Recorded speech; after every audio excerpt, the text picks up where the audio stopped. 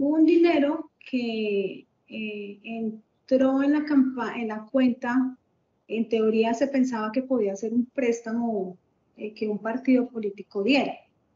Pero ya revisando como la, la forma y eso, pues se dieron cuenta de que no, no estaba correcto, o sea, que no y devolvieron los recursos.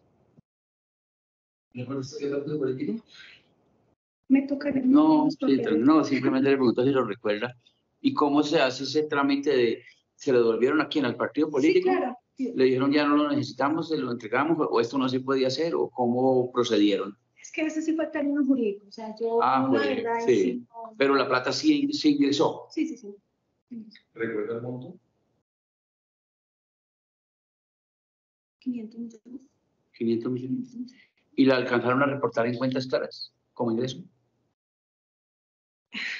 Una paridad y una discusión de conceptos entre contador, auditoría, tesorero, eso, eh, que sí se debía reportar, que no se debía reportar, que sí la ingresemos, que no la ingresemos, creo.